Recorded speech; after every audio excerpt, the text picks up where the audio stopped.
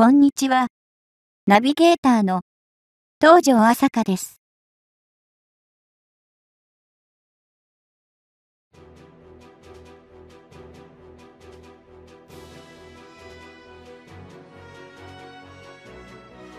夢のステルス戦闘機開発に大きく近づいている。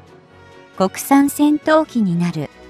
戦後日本では戦闘機は自国開発されていない。F2 戦闘機は存在するものの、これは米国の F16 戦闘機がベースとなる。戦後自国開発ステルス戦闘機に今力が注がれているのだが、F3 ステルス戦闘機開発になる。新進がそのベースになると考えられるが、実際はその形や姿は大きく違ってくるだろう。すでに最強と言われているエンジンが開発されている。性能で言うと F22 戦闘機よりも数値的には上回っている。米国もまた新たな戦闘機開発を計画している。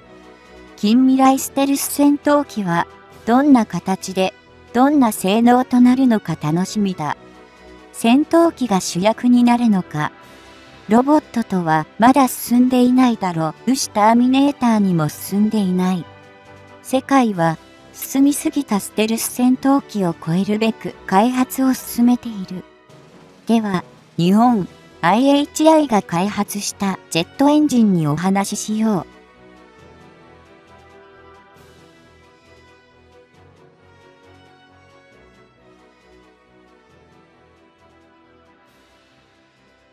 2018年に IHI 社が防衛装備庁に収めたプロトタイプの戦闘機用エンジン XF9 の1は、これまで世界でも通用する1000級の戦闘機エンジンを国産化することができなかった日本に巧妙を与えるものとなった。なぜならば、この XF9 の1エンジンは排気ガスに燃料を噴射したアフターバーナー使用下のテストにおいて、実に15トンに達する推力を記録し、当代のアメリカやロシアの戦闘機と互する出力を実現したからだ。少し大げさな表現かもしれないが、この事実は日本の航空業界において、まさにエポックメイキングな出来事であり、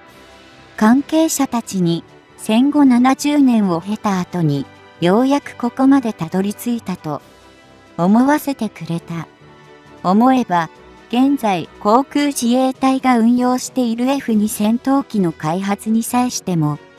このジェットエンジンの国産化というハードルが大きくのしかかり、これを実現できなかったことが F16 をベースにさせた要因の一つだった。それゆえに政治的な働きかけもあり、結局今の形の F2 戦闘機に行き着いた。経緯を鑑みれば、この XF9 の1エンジンが、その後継機計画とも言うべき F3 戦闘機開発に、先駆けて実用的な性能を発揮したことは大きいだろう。そもそも、ロシアと中国を除いた世界的な市場において、現時点で戦闘機用のジェットエンジンを量産しているメーカーというのは、わずかに3社に絞られているのが孫う方なき現実である。その3社とはゼネラルエレクトリック社、プラットホイットニー社、ロールスロイス社であり、これら3社が独占している領域へ IHI 社の XF9 の1エンジンが初めて挑み得る状態になったと言える。かつては日本国内でも今の IHI 社以外にも三菱重工業やスバルなどが航空機用のジェットエンジンの開発を行っていたが戦後の1950年代にはすでに同領域から撤退し IHI 社のみが残り現在に至った状況だ。これは戦時中に航空機開発を行っていた企業らが GHQ の同事業への規制を受けてそこから引き上げた結果であり、日本の航空機産業にとっては大きな痛手となった事例として、記憶すべきだろう。戦闘機用のジェットエンジンは単に水力が大きい。つまり、高出力であるというだけでは実用化するに足るものとはなり得ず、その大きさもコンパクトであることが同時に求められる。これは限られた機体スペース内に並走と同様に収容することが必須となるためであり、ことにステルス性も必須要件とされるようになった現在ではその傾向がより強まったということができるだろう。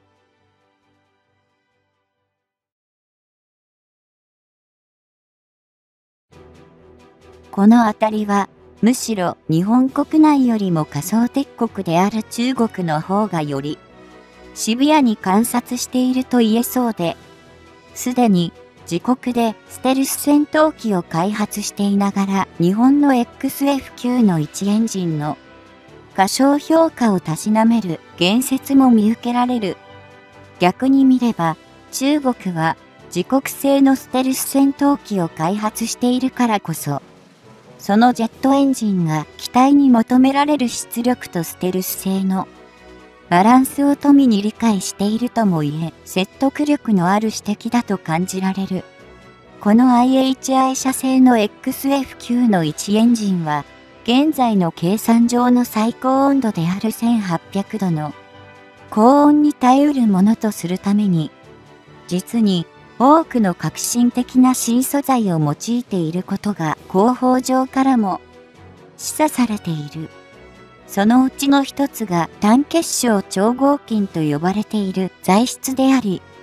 先の1800度に達するとされる高温、高圧に対処するため、タービンブレードなどの箇所に精緻に鋳造された部品が用いられている。次がセラミックスの複合材であり、この素材をタービン周辺の部分に用いることで高い強度を実現させ、割れにくくすることで、エンジン全体の信頼性を担保するものとなっている。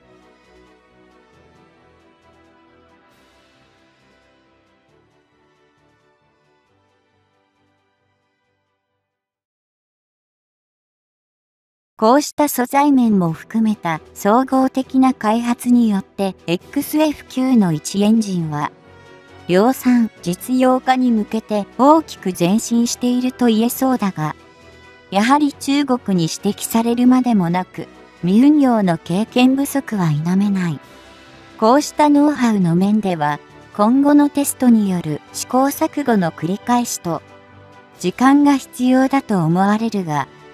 なんとか国産初の戦闘機エンジンとして計画が軌道に乗ることを祈るばかりだ。すでに世界的には第6世代戦闘機の開発が進められており、イギリスのテンペスト計画なども取り沙汰されているが、こちらは日本固有の使用にも柔軟な姿勢を見せるなど可能性はありそうだ。一足飛びにこれまでのブランクを覆して主力戦闘機を自国のみで開発することは難しい状況ではあるが、まさに今の F2 戦闘機のポジショニングを担う位置への開発に期待したいところだ。トルコがロシア製のミサイルの導入を強行したことで、アメリカから調達が決定していた F35 ライトニング2戦闘機の輸出を凍結されてしまった例からも、兵器の国外依存には危険性が伴うと思えるからだ。